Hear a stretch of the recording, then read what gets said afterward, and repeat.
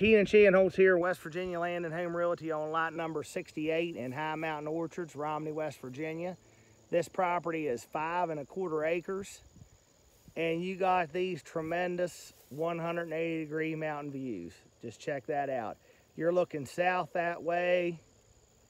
That big, that big maple tree or hickory trees on this lot. Uh, and east this way. So you're pretty much facing due east. And uh, back in the 50s, 60s, and 70s, there's an orchard on top of this mountain, and they developed it in the 80s. And uh, you can see there's a couple big old apple trees still left on this lot. Um, some people try to save them, you know, and some people have done a good job at doing that up here.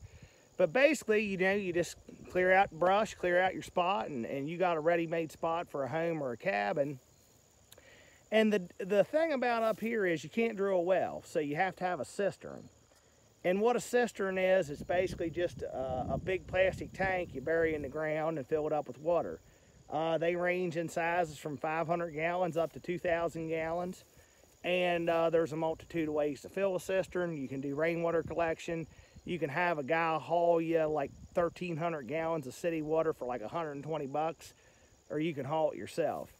And there's people that have cabins up here. There's people that live up here full time and uh, you know you get used to it. Once you figure the whole cistern thing out um, it's pretty easy.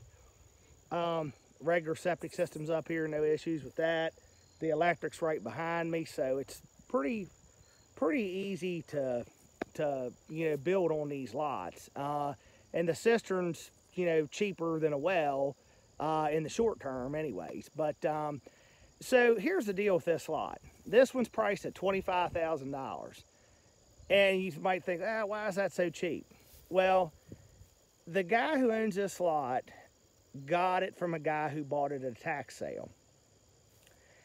And the man that he purchased it from got it at a tax sale in April of 21, I believe.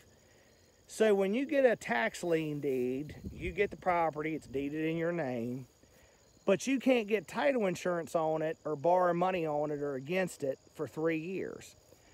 So whoever buys this lot's going to have to pay cash for it.